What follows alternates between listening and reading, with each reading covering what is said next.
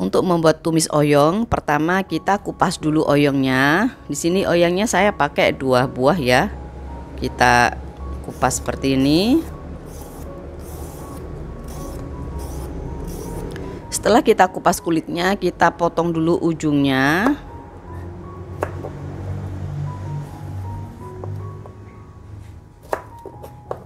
Nah, kemudian kita potong-potong sesuai selera ya.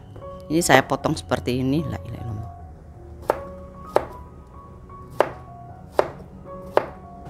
Setelah kita potong, kita sisihkan dulu. Kemudian kita siapkan dua butir telur. Kita kocok telurnya ya.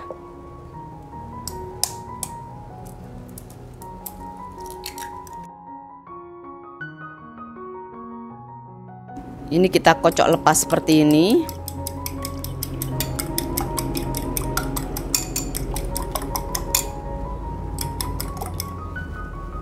Nah, ini kita sisihkan dulu ya. Berikutnya kita cuper kasar bumbu-bumbunya. Di sini bumbunya saya pakai 5 siung bawang merah.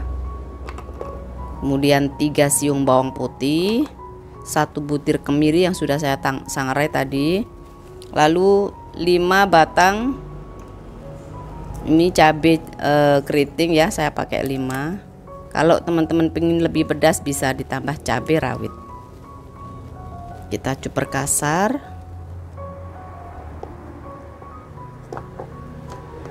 Setelah kita cuper kasar hasilnya seperti ini ya teman-teman. Ini nanti kita tumis. Berikutnya kita siapkan wajan dan kita kasih minyak secukupnya.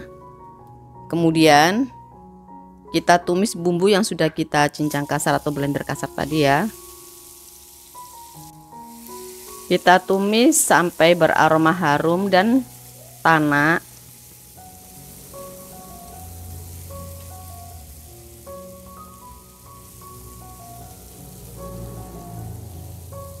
Ini aromanya sudah harum, bisa kita masukkan telur yang sudah kita kocok tadi ya.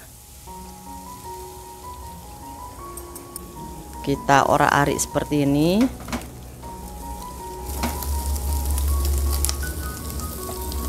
Lalu kita masukkan oyong yang sudah kita cuci bersih.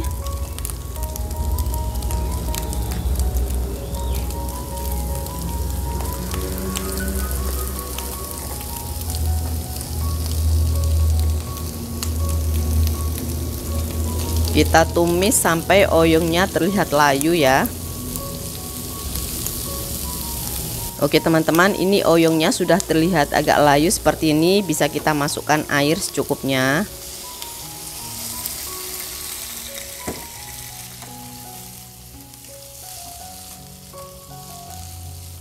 Lalu kita tambahkan garam setengah sendok teh gula pasir setengah sendok teh lada seperempat penyedap rasa seperempat. Kemudian saya tambahkan saus tiram ya ini saus tiramnya saya pakai satu sendok teh. Lalu kaldu bubuk. Saya pakai seperempat aja ya teman-teman. Nah ini kita aduk rata seperti ini supaya bumbunya lebih meresap. Oke kita tunggu sampai oyongnya matang dulu ya Oke teman-teman ini saya kira oyongnya sudah matang. Bisa kita matikan kompornya dan siap untuk disajikan